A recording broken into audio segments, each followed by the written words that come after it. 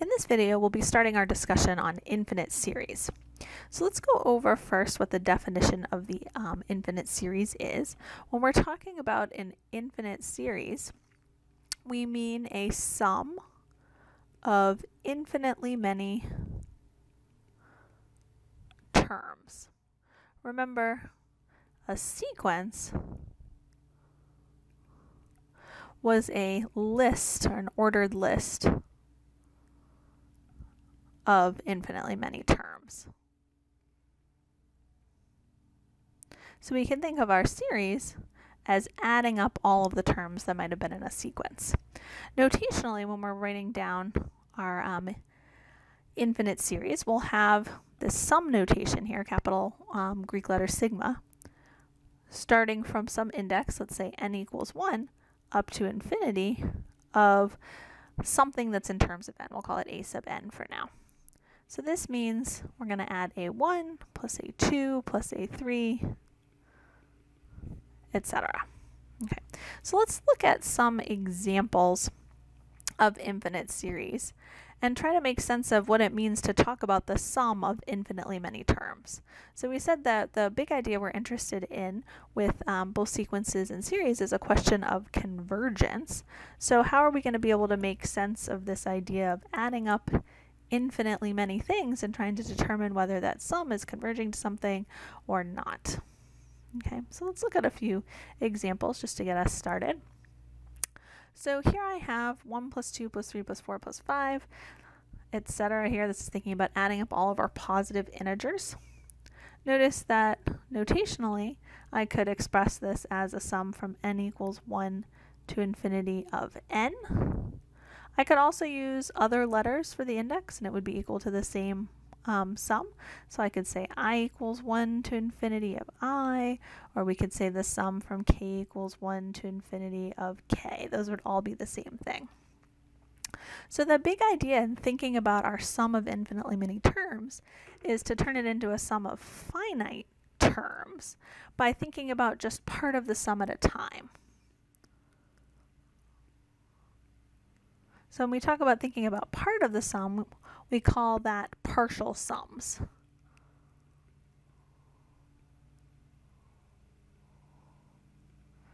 So let's see what I mean by that in this example. You can also think of partial sums as cumulative sums. Okay, how is the sum changing as I add additional terms? So initially, here I have 1, then I add another term and I have 1 plus 2, then I have 1 plus 2 plus 3, then 1 plus 2 plus 3 plus 4, etc. Okay. So in terms of how my um, partial sums are changing, it's 1, and then 3, and then 6, and then 10. So it looks like as I'm adding additional terms, or one more um, term each time to my sum, um, the sum is getting bigger and bigger and bigger. So we have this idea in this example that our partial sums keep getting bigger. Okay, so we haven't gone into the full theory of our definition of series convergence yet, but we have this idea that this should be a divergent series because as I add additional terms, I'm getting a bigger and bigger sum. Okay, so let's look at another example. Here I've got a repeating decimal. So I have 0.3 repeating. So this should be something familiar here. We actually know that 0.3 repeating is the number one third. Okay, so how is this connected to an infinite series? Well, we can look at this 0.3 repeating as being 0.3 plus 0.03 plus 0.003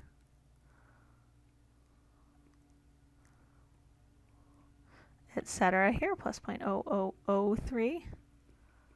Okay, so I do have an infinite sum that's actually creating that 0.3 repeating, which we know to be equal to a finite number of one third.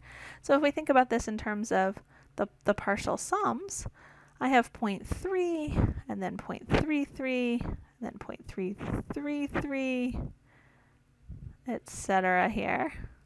So I can see that my partial sums, as I add additional terms are getting closer to that value of one third. Okay, so we see a couple examples here so far. We have a, an example of a series that it looks like diverges, an example of a series that it looks like converges. Again, without getting into the full theory quite yet. Okay, let's look at one final example, going over this idea again. So here I have 1 half plus 1 fourth plus 1 eighth plus 1 sixteenth, etc. Okay, as my um, example of an infinite series. There's actually an, um, a story associated with this particular um, infinite series here that comes from something called Zeno's paradox. And one variation of Zeno's paradox shows that this sum arises by trying to figure out um, how long it's going to take you to get to a wall if I have to walk half of the distance first and then half of the remaining distance and then half of that remaining distance and then half of that remaining distance, etc. So the argument goes that I'll never reach the wall because I only have to um, walk half of what I have left, half of the remaining distance. So I get this infinite sum of things along, but we know that there's only a finite distance between this person and the wall. So we have the, this paradox of, of um, adding these infinitely many things, and yet it seems like I should eventually reach the wall here. So this sort of um, complicated idea of infinity um, is what troubled a lot of the, the early Greek um, philosophers and mathematicians. And so we're going to look at making some more sense of this um, particular infinite series here. In terms of partial sums, I have 1 half and then 1 half plus a fourth and then 1 half plus a fourth plus an eighth, okay, etc. So what's happening to my partial sums? Well, I have 1 half, and then 3 fourths, and then 7 eighths. Okay, so it looks like those sums as I add additional values might be getting closer and closer to some number. Let's just look at one other geometric expression of this particular infinite series. If I think about a box that's um, unit 1 by unit 1, I can think about finding the area of this box by taking half of the area, so that's my 1 half. And then I could take half of the remaining area, so that adds a quarter, half of the remaining area, which adds an eighth, half of the remaining area, which adds a sixteenth, half of the remaining area, which adds a 32nd. We could just keep going like this. Okay, and we see because I'm filling in this box, I can't be getting an infinite sum out of all of those quantities. Okay, so it looks like we'll be getting closer to an area or a sum of 1 here. Okay, so this gives us a few ideas, a few examples for thinking about our infinite series. Um, continue watching the videos to see some more of the theory behind determining convergence of a series.